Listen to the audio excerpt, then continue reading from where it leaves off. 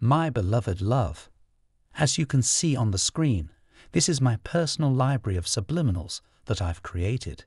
I have created them for essentially every area of life. There are subliminals for physical appearance, for love and relationships, for mood, manifestation, twin flames, and so much more. And every subliminal comes in eight different background sound options.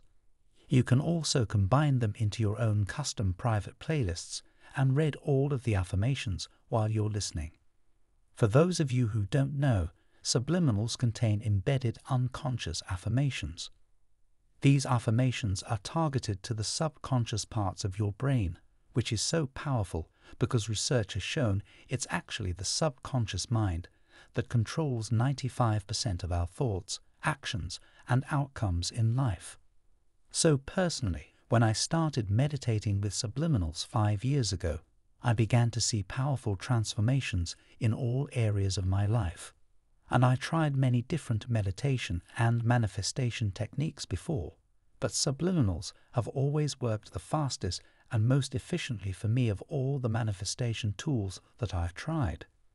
So my personal library of subliminals is available to you through my app, Sound and Soulful which is available in the Apple App Store and Google Play Store.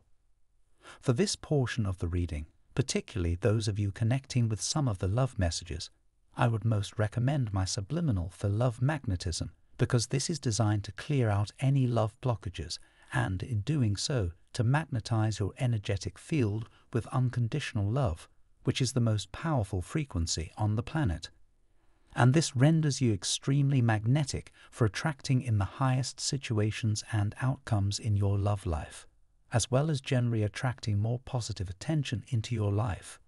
So, the link to download the Sound and Soulful Subliminals app and access my Love Magnetism Subliminal is in the pinned comment and description box underneath this video. Okay, so let's read into this person's true thoughts feelings, and intentions towards you at this time.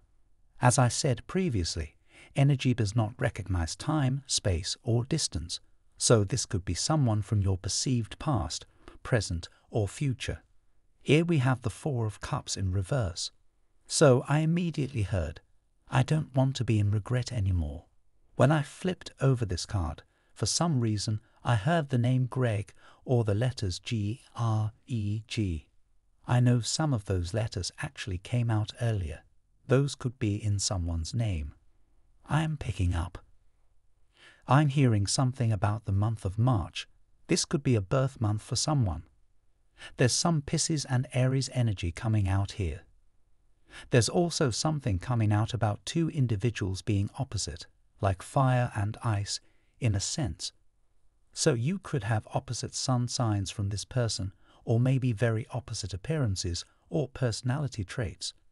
I just feel like there might be something about you and this person that is very opposite, and whoever this is, they are no longer wanting to live in the energy of regret. From Divine Masculine Type yes if you believe.